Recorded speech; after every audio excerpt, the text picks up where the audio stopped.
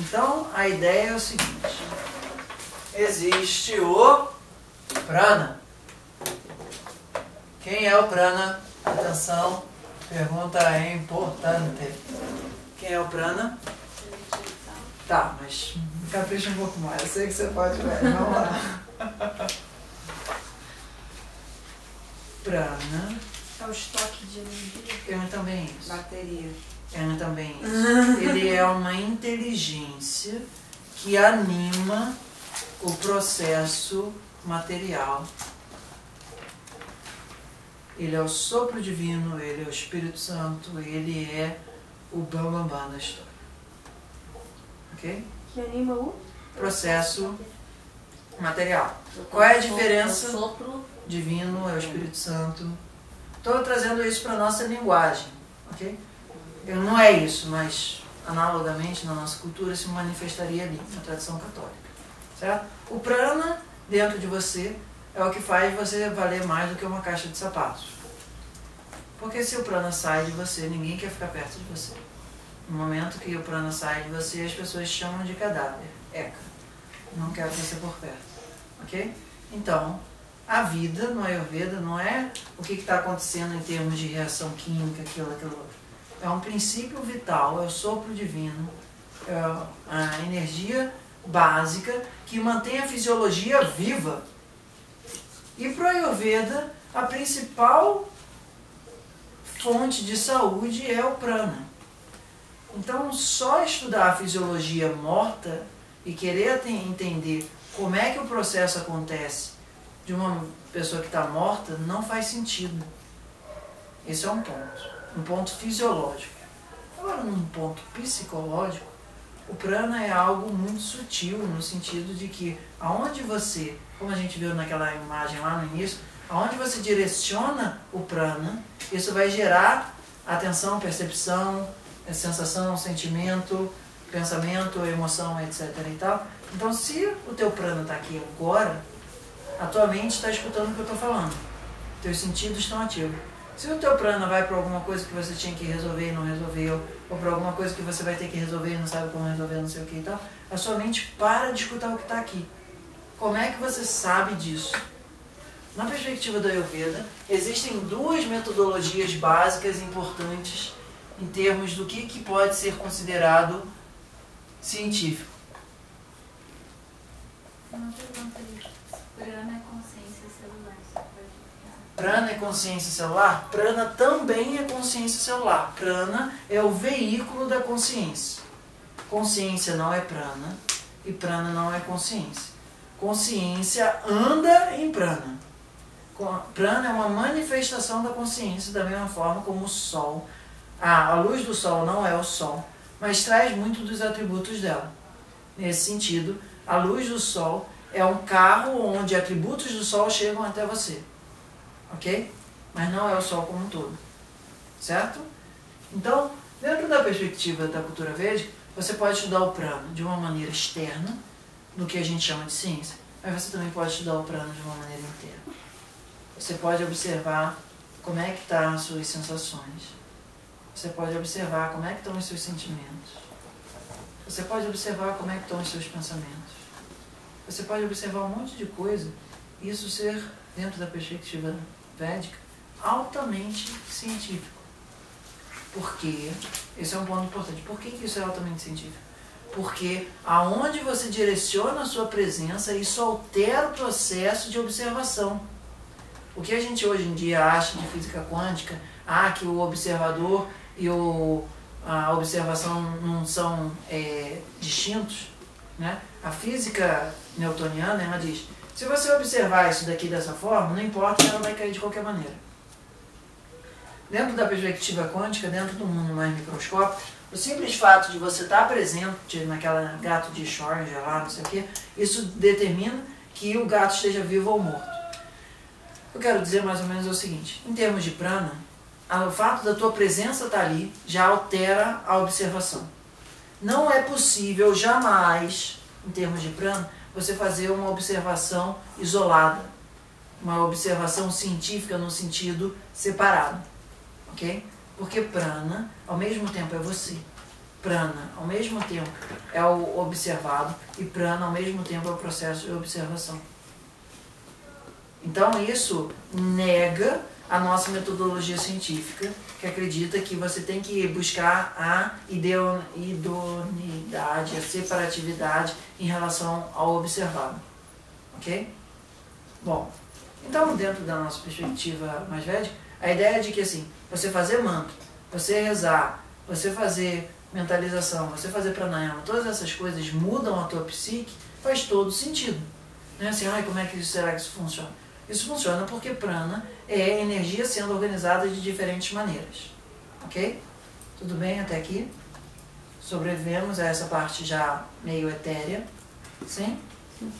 E bom, prana, num primeiro momento, é, ele se organiza de uma forma como espaço. Depois como vento, depois como fogo, depois como água e depois como terra.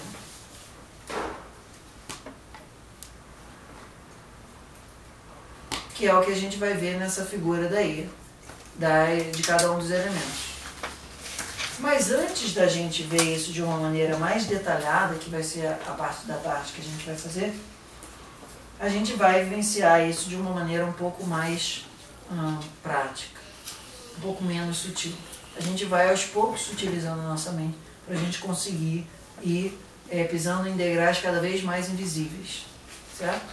À medida que a gente for tendo a habilidade de observar através do microscópio da nossa mente, a gente vai conseguir acessar coisas que a princípio não estavam visíveis para uma mente tão macroscópica. Mas ao longo do tempo a gente vai treinando o nosso refinamento mental e a gente vai acessando isso.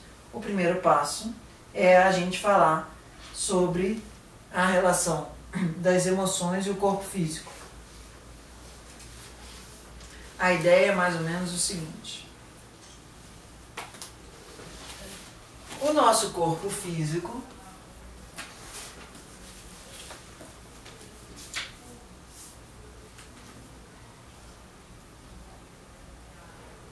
ficou uma moça. Vem cá, filha. É... Ele está dentro de um corpo elétrico. A gente hoje em dia tem essas máquinas de leitura de aura, etc. e tal, que a gente consegue de uma maneira bastante assim palpável enxergar uma outra parte menos densa da nossa matéria. Ok? A gente chama esse corpo daqui denso de Ana Maya Coxa. Anna é aquilo que é formado a partir de coisas que a gente come. Ok? Leite da mãe, papinha e aí por diante. Certo? Esse Anamaya Coxa, ele é responsável por tudo aquilo que você consegue sentir, pegar e segurar. Anota aí. Sentir, pegar e segurar. Ok? Essa é a camada mais densa e ela é formada principalmente a partir do elemento Prithvi, que é simbolizado por um quadrado. Ok? Que é terra. Terra. Ela é sólida. Ok? Depois dela, vem um outro corpo da gente que você consegue é, sentir e pegar, mas você não consegue segurar. Que é o Prana Maya Kosha. Então esse daqui é o 1, um, esse daqui é o 2, que é o Prana Maya Kosha. Duplo etérico, é o corpo respiratório, onde você consegue pegar, ó, você em algum grau consegue encostar na tua respiração, não consegue? Aí seria esse campo elétrico, Campo já? elétrico. É. Ó, você consegue sentir? É matéria, não é? Mas é uma matéria que você não consegue segurar. Ok? Você pode até envelopar ela, botar ela dentro de um recipiente, mas você não consegue segurar. ela é suficientemente densa para você encostar, aí você não consegue manter ela. Certo? Na massagem, às vezes, você coloca a mão sem encostar, Está, mas você tá várias lidando- pessoas sentem Você tá é- é- essa eu- eletricidade. quando você chega aqui e encosta na pessoa aqui, você está encostando no pranamaya coxa dela. Você pode fazer massagem só encostando no pranamaya coxa da pessoa. E a pessoa sente. E é elétrico Existe, mesmo. existe, é, existe sensação. magnetismo, existe todo um ramo de conhecimento. Tai Chi, é, Qigong, Reiki, todas essas coisas, elas atuam prioritariamente no teu campo bioelétrico. Isso dá para até ser mensurável, não é uma coisa tão difícil de mensurar isso, ok? Bom, depois do nosso Pranamaya Coxa, existe um terceiro corpo, que esse você já não consegue é, encostar nele de uma maneira muito definida, mas você consegue sentir ele.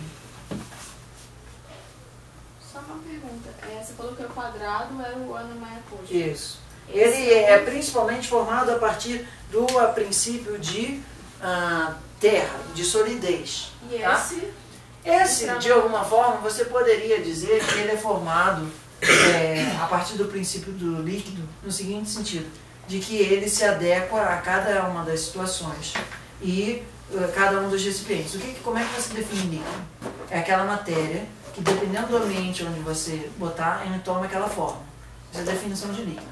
O ar, você consegue fazer isso, certo? Veja bem, eu não estou dizendo que o ar é líquido, mas eu estou dizendo que o ar tem características líquidas, ainda que não seja um líquido. Mas se você for conversar com pessoas sem mais da física, eles consideram, em termos práticos, o ar como um meio líquido, assim como o, a água, só que é um líquido menos denso, certo? os gases, Então, pode associar. é, porque é a questão de você ter essa capacidade de adequação dentro de um recipiente, ok? Então, nesse sentido, esse segundo daqui teriam características líquidas, ainda que não, for, não seja um líquido no sentido é, mais rigoroso da coisa, tá? Porque essa é uma matéria mais leve, é um líquido muito leve, tá? Bom, o terceiro é o Manomaya Coxa. O Manamaya Coxa, que é o que a gente vai conversar mais hoje, vai conversar também no workshop de outubro. Aí no de outubro a gente vai conversar mais decididamente sobre essas coisas, sobre esses diferentes coxas e tal. Ele é o lugar onde residem as emoções. Mano é essa mente sensitiva, emocional. Então, dentro da perspectiva da cultura védica, isso depois vocês podem ver lá no meu curso de psicologia védica, módulo um provavelmente, que foi um dos que eu indiquei para preparar para esse curso daqui. Raiva, medo, ansiedade, insegurança, essas coisas, elas são objetos dentro, de- densos dentro desse corpo. Elas existem de uma maneira palpável dentro desse corpo. O que, que isso significa? A nossa vivência prática é assim, quando você chega perto de uma pessoa e você fala assim, nossa, aquela pessoa estava com ar pesado. Comecei a ficar triste do lado dela. O que, que aconteceu? Aquela é, emoção dentro do corpo mental dela conseguiu entrar dentro do teu corpo mental. Se identificou. Uhum. É, você se identificou, mas você, em algum grau, já tinha uma predisposição identificada com aquele tipo de emoção. Outra pessoa do teu lado não sentiu da mesma forma, certo? Então, esse mano Mas a Maia, emoção dela gruda em mim? não só dela, a parede também tem emoção, certo? Os astros governam esses processos de emoção. A parte dos astros eu vou falar um pouco mais amanhã. Eu vou mais pro sutil aos poucos. E quem trabalha com gente tem que ficar super atento a isso. né? Qualquer pessoa que toque é uma forma muito forte de você, quando está quebrando aquelas emoções que estão cristalizadas, o campo mental dela está desfacelando aquelas emoções. E aquelas emoções elas têm uma tendência muito grande a se atraírem por coisas que são semelhantes. Então a chance de encontrar alguma coisa perto do teu sistema que tenha similaridade com aquilo é muito grande se você é, sentir aquilo e se identificar com aquilo.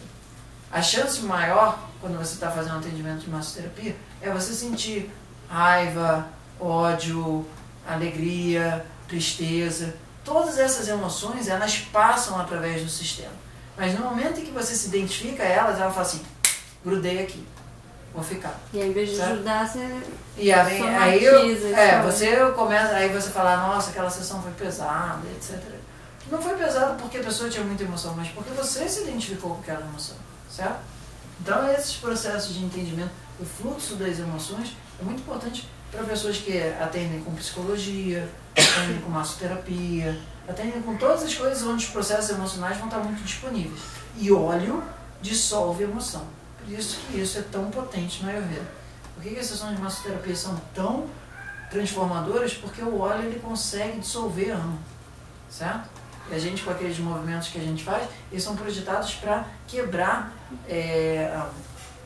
Tá? Sim, é, se identificar, então, a mesma coisa, sintonizar. Sintonizar, não necessariamente você se identifica. Sintonizar é tipo, você tá com o teu rádio aqui, a pessoa tá com o rádio ali. Ok? Sintonizou, fez isso. Mas, instantaneamente, se você não se identificar, aquilo muda para outro canto. Acontece que no momento onde a gente se identifica, a gente pega aquela função lá no desenhador de qualquer coisa, um pages da vida, e trava aquilo, vira um bloco. Então a tua emoção e a outra emoção parecem ser uma coisa só.